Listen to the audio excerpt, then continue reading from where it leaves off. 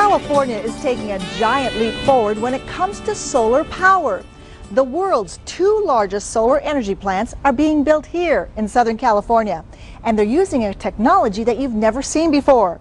As Roger Cooper tells us, with climate change on the horizon, we can use all the solar power we can get.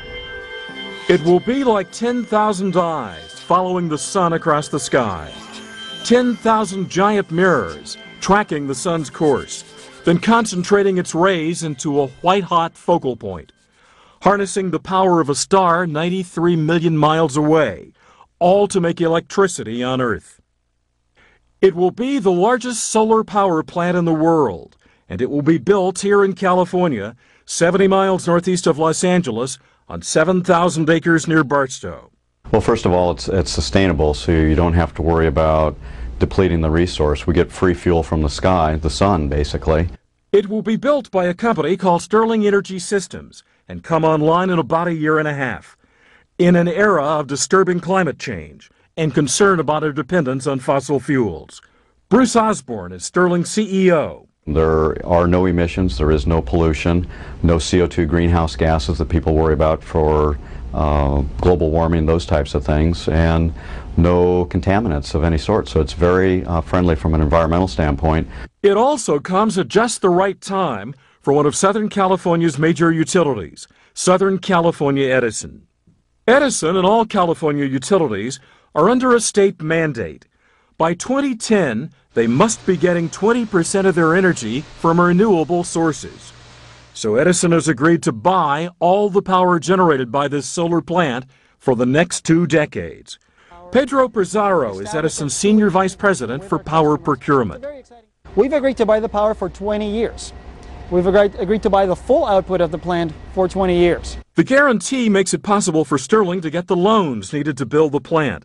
And the solar power source will help Edison reach its 20% goal. In 2005, we had over 17% of our portfolio from renewables.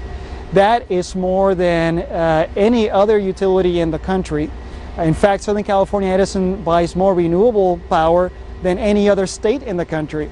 Uh, we buy about a sixth of the renewable energy that is produced in the United States. Still, solar power has been tried before and has proven to be too expensive or didn't produce enough power. So what's different about this project? Enter the Stirling engine, a technology that could revolutionize the industry. It's a nearly two century old uh, concept that is now ready for prime time. Uh, back in the late 1800s, a Scottish minister, Dr. Robert Stirling, originally came up with the concept as an alternative for steam engines. Here's how it works.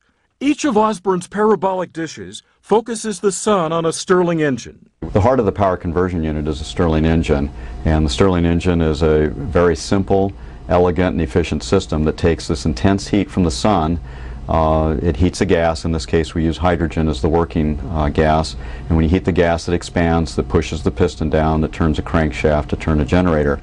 By alternately heating and then cooling gas, the Stirling engine generates electricity with great efficiency. The uh, solar dish Stirling system, as we call it, or Suncatcher for short, is the world's most efficient uh, solar electric system out there. It's nearly two to three times more efficient than the conventional photovoltaic cell or other concentrating solar power.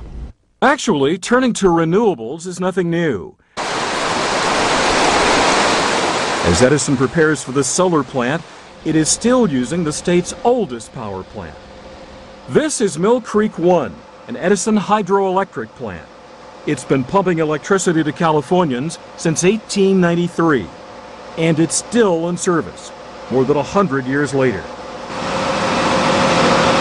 Yeah, the plant's about 113 years old, and hopefully we can get another 100 years out of it. The original hydroelectric generator is still on display on the plant floor, alongside the turbine that replaced it in 1933 all those years, all that electricity, and all of it renewable.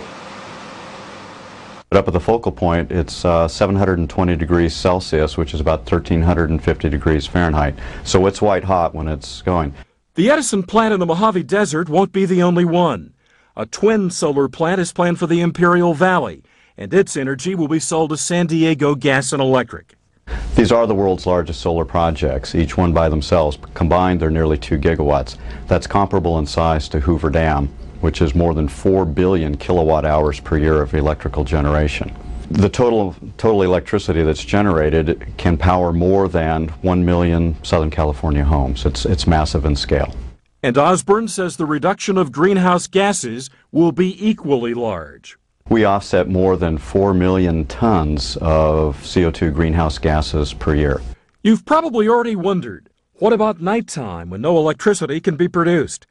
Edison says it won't really be a problem. In California, our peak load is in the summer, and it's in the afternoons in the summer when a lot of your viewers are starting to turn on the air conditioners uh, and the like. And so solar in California has a very nice correlation with when our peak needs occur. So this is time-lapse photography where we compress about 12 hours into about 8 or 10 seconds. So the systems uh, wake up in the morning, they collect the sun, they track throughout the day into early afternoon at sunset, and then they retract, reset for the next day, and they continue again.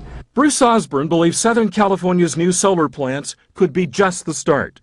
But we have and can think about a larger scale. If you take 100 miles square, which is a big land, you know, chunk of land out in the desert, but still a fraction of the total percentage there, we can offset or eliminate all dependency on fossil fuels, whether it be gas, oil, uh, or coal.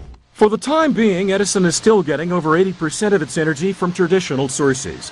Generators fired by natural gas, nuclear power from San Onofre, hydroelectric plants like Mill Creek 1, and coal-powered plants.